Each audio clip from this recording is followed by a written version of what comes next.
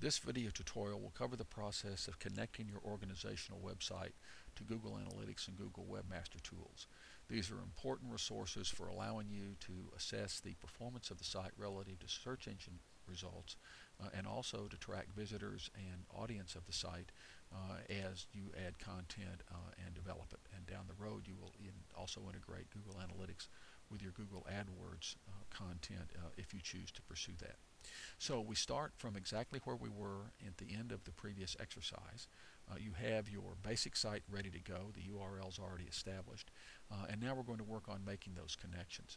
So first of all, let's go up to the uh, top of the page and we're going to copy uh, the URL for the site, uh, which we're going to use as we make our connections with Analytics and Webmaster Tools. Under More Actions, click Manage Site, and then General. We're going to start with Webmaster Tools, and we're going to enter a meta uh, tag string here, and we have to go to Webmaster Tools to get that. Uh, now to reach Webmaster Tools, click on My Account, you'll see in a new window some of the options that are available and click on Webmaster Tools. Uh, this is the home page for Webmaster Tools. Notice we're signed into our account uh, and we now add a site. Uh, we paste the URL for our site here. Uh, we now have a meta tag that it generates for us. We copy that Then back in the General tab, paste it here. Save those changes.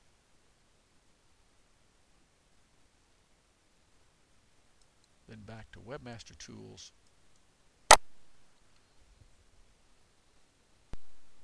We verify the site. And so now information from our site is going to be collected from Webmaster Tools and as, the, as traffic develops and as it uh, analyzes the site, we'll be able to get some information on it here. Okay, now let's turn to the process for adding Google Analytics and that connection to the site. To do so, let's click My Account again and go to Google Analytics. Now I've already set up a Google Analytics account, so you may well uh, have to go through the process of registration here to get to this point. And you'll note that in the terminology of Google Analytics, every account is for a separate website. So I already have a couple done, and you will not.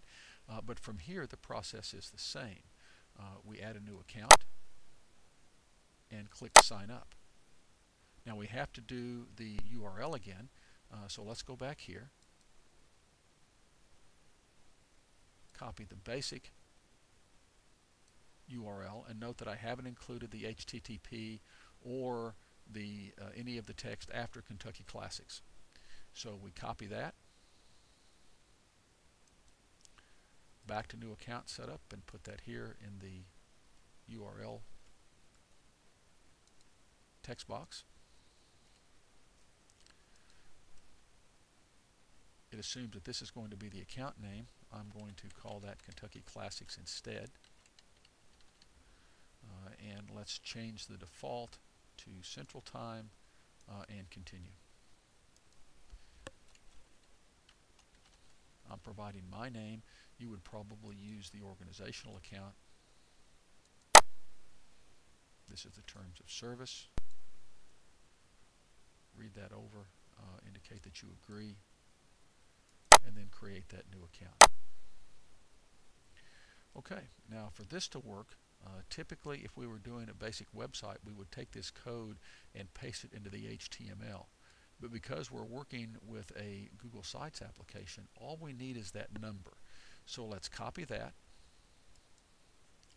move back into uh, the General tab, uh, and that then is the number that goes here. Uh, let's get rid of those quotation marks and now we're ready to go.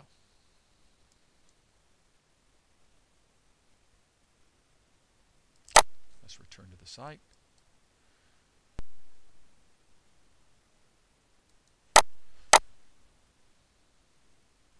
So now we've added the, uh, the site as an account to Google Analytics and we've uh, placed the, the appropriate code in and now we're ready to receive information.